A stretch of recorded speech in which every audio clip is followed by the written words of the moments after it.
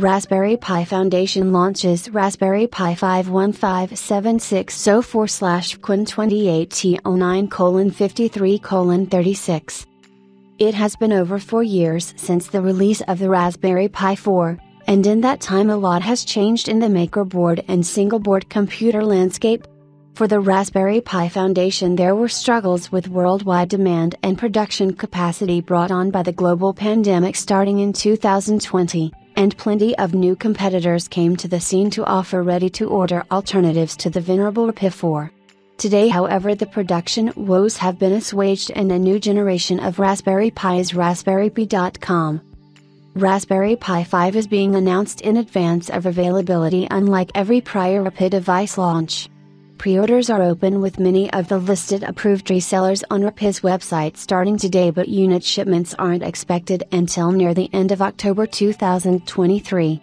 As part of this pre-order scheme, Rapi Foundation is withholding pre-orders from bulk customers and will be dealing in single unit sales for individuals until at least the end of the year, as well as running some promotions with the MagPi and Hackspace magazines to give priority access to their subscribers genuinely nice to see, considering how hard it was to obtain a Pi 4 for the average Joe over the last couple years.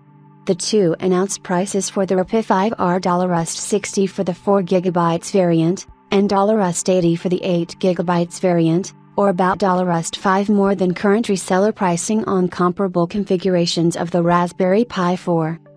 The Raspberry Pi 5 incorporates entirely new silicon with improvements made to nearly every aspect of the board. Below, Raspberry Pi Foundation provides a list of key features that paint the broad strokes of all the changes made to the Pi 5. Broadcom BCM 2712 2.4 GHz quad-core 64-bit ARM Cortex A76 CPU, 512 KB per core L2, 2 MB shared L3, VideoCore 7 GPU, supporting OpenGL-ES 3.1, Vulkan 1.2 Dual 4K P60 HDMI display output 4K P60 HEV decoder LPDDR4X4267 SDRAM dual band 802.11 acres Wi-Fi Bluetooth 5.0, Bluetooth Low Energy, BLE, High-speed microSD card interface with SDR104 mode support 2, USB 3.0 ports, supporting simultaneous 5 Gbps operation 2, USB 2.0 ports Gigabit Ethernet, with PO Plus support, requires separate PO Plus hat, coming soon, 2, 4 lane MIPI camera. Display transceivers Key 2.0 x1 interface for fast peripherals Raspberry Pi standard 40 pin PO header real time clock, RTC, power button with the new board comes a new case. The Rapi 5 has an updated 3 piece plastic case with active cooling which allows for installing the Rapi 5 with an SD card installed, stacking multiple cases with the top plate removed and allows for mounting hats on top of the case above the fan via PO header extensions and strategically placed holes through the case shell. This new case will cost $10. While the Rapi Foundation clarifies that no cooling is required for the Rapi 5 to operate, there is a new 5 active cooler which mounts to the Rapi 5 via the added through-hole cooler mounts. This cooler includes a radial blower fan which is claimed to be chosen for low noise operation, with the added note that the cooler is somewhat superior to the case, making it particularly suitable for overclockers. The Raspberry Pi 5 hosts many hardware changes and even some compatibility breaking new interfaces, however, the Rapi Foundation has headed off the possible issues this may cause for users with a slew of new I/O accessories to address these changes. First, Due to the new high-density mini-MIPI connectors Rapi 5 is launching with multiple lengths of adapters to allow the use of existing standard MIPI devices. These adapter ribbon cables come in 200mm, 300mm, and 500mm lengths and cost $1, $2, and $3 respectively. Alongside these are a new PO Plus hat adapter launching in 2024 that supports the relocated PO header. A rather exciting change comes from the addition of PCI Express 2.0 on the Raspberry Pi 5, and the expansion options for fast peripherals this opens up. To take advantage of this, A pair of mechanical hat adapters for M.2 devices and accessories will be launching in 2024.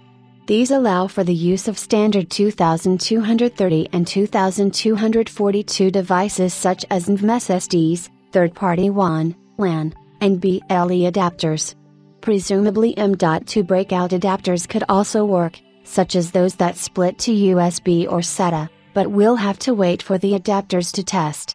The first of the two adapters, like the prototype pictured below, supports so-called larger devices while the second adapter will follow the L-shaped configuration of the PO Plus hat and allow for M.2 devices to fit within the plastic case accessory.